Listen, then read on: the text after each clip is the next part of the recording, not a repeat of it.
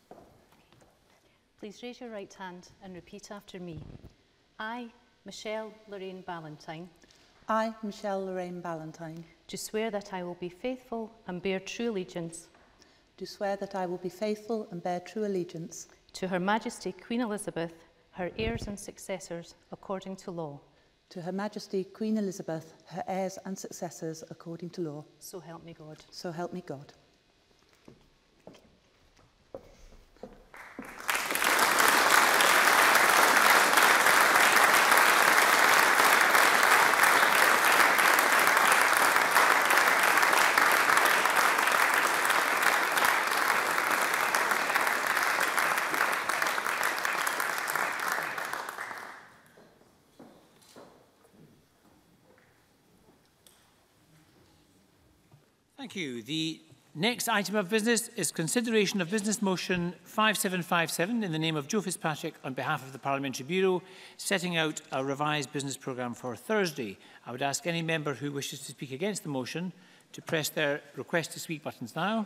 I call on Joe Fitzpatrick to move motion 5757. Moved. Thank you.